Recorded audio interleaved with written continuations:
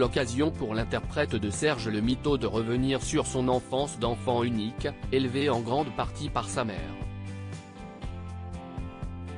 Et le moins que l'on puisse dire, c'est que face aux questions des journalistes atypiques, l'émotion était au rendez-vous. Pour ce premier numéro de la rentrée, les intervieweurs du papotin ont prouvé qu'ils n'avaient toujours pas leur langue dans la poche. L'occasion pour les téléspectateurs d'observer le réalisateur de La Flamme sous un tout autre jour. En effet, Jonathan Cohen s'est volontiers prêté au jeu des questions étonnantes, parfois intimistes, jamais escomptées.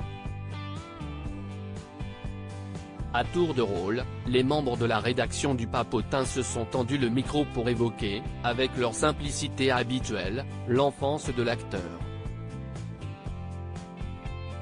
L'occasion pour le créateur de La Flamme de partager avec le public l'amour et la reconnaissance qu'il porte à celle qui s'est battue pour l'élever, sa maman.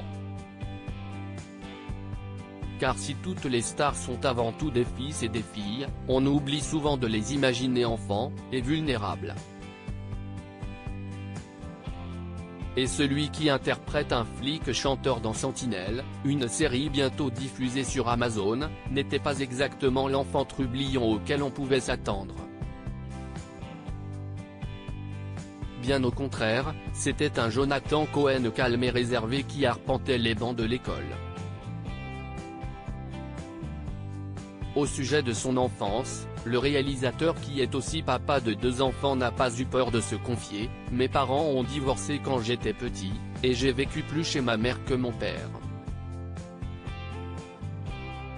Avant d'ajouter, ma mère a été incroyable. Elle s'est vraiment battue pour m'élever. Élever un enfant unique c'est pas facile parce qu'il n'y a pas d'autre échappatoire que nous deux, donc c'est un peu comme un couple. Elle a été incroyable, elle n'a jamais lâché l'affaire, ça a été comme une lionne. Un bel hommage à celle qui l'a élevée, et qui n'a pas manqué d'émouvoir l'assistance.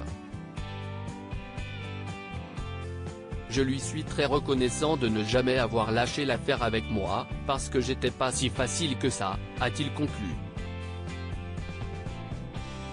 Article écrit en collaboration avec 6 médias.